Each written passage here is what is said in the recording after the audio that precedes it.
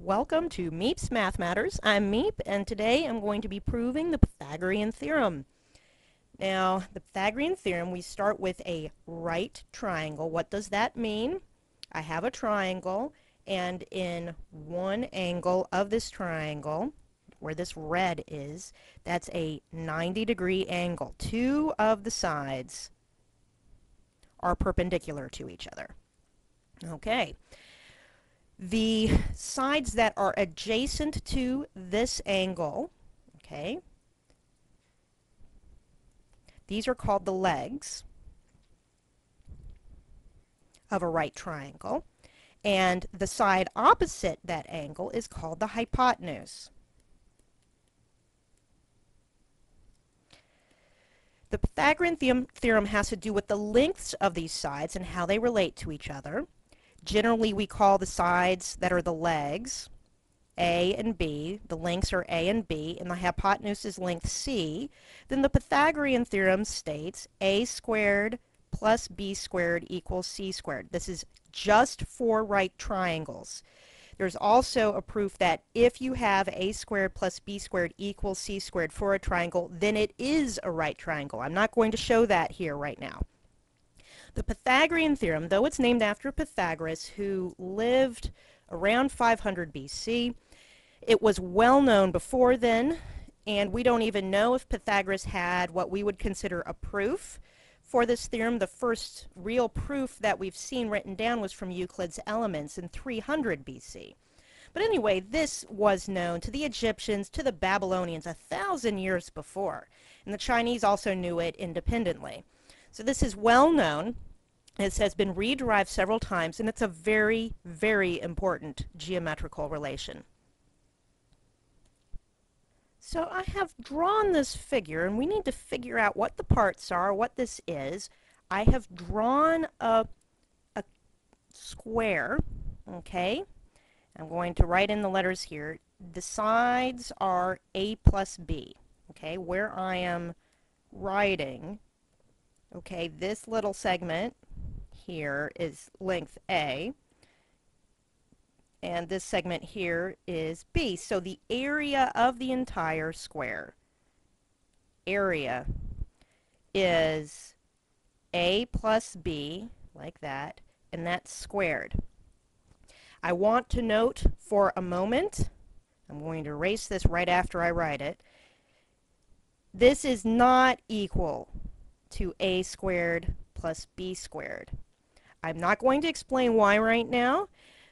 All you have to do is test it, put in some numbers. Put in, say, 1 and 1 for a and b. 1 plus 1, that's 2 squared, that's 4. But if you add 1 squared plus 1 squared, you get 2. So this does not work.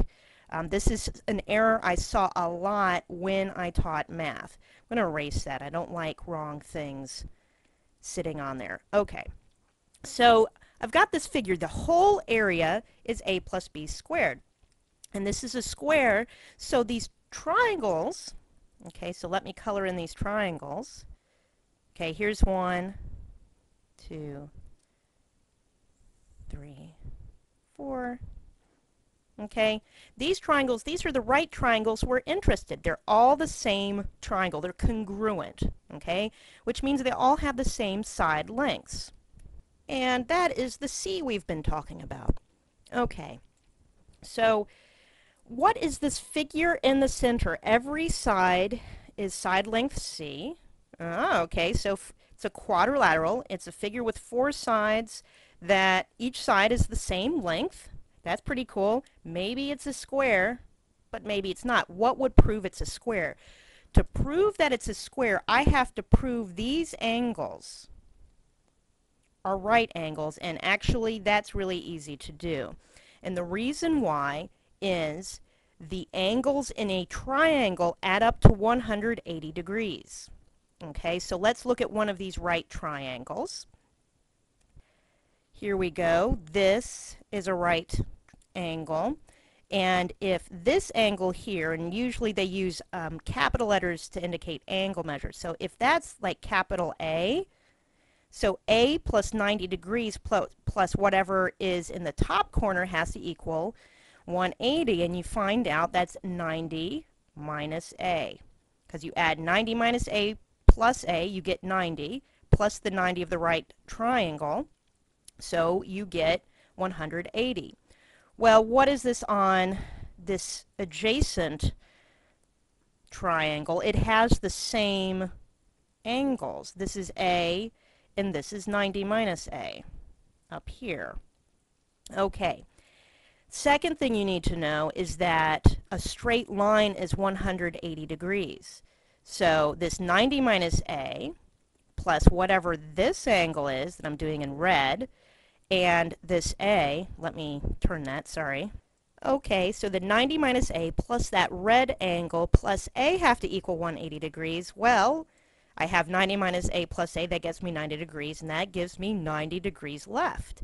So each of these corner angles that's a right angle, and it's a square.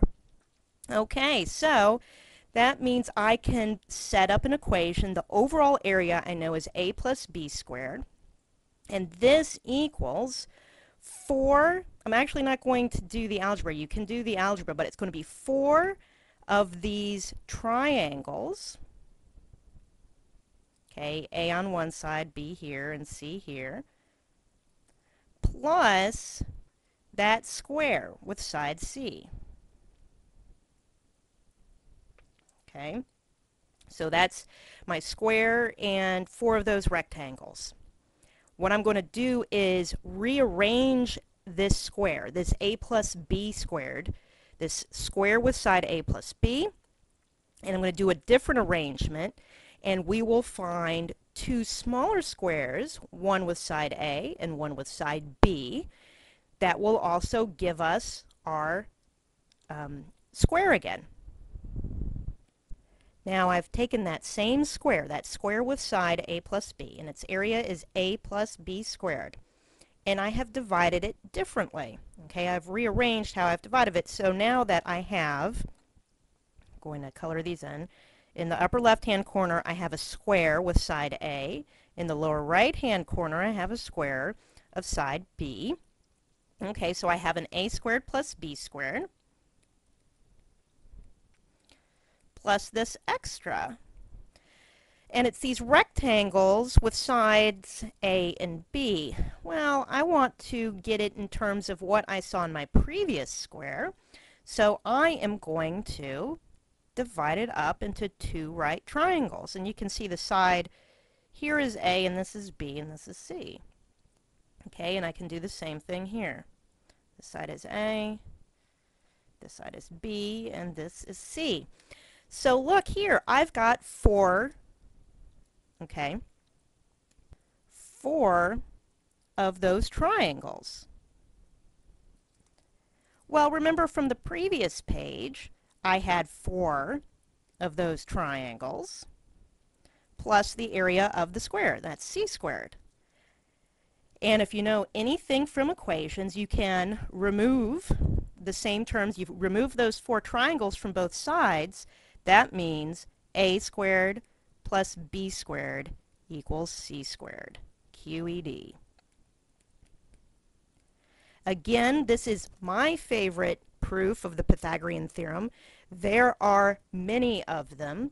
There is a site cut-the-knot.org, and those are hyphens between the words, that has a page of 75 proofs of this theorem. So this is something you need to keep in mind in math. There may be one answer, one right answer, but there can be dozens of ways to get to that answer. And sometimes, even though something has been proven before, you want to prove it again in a way entirely new. It, math is very creative. As always, you can contact me, marypat.campbell at gmail.com, and remember to spread the math love.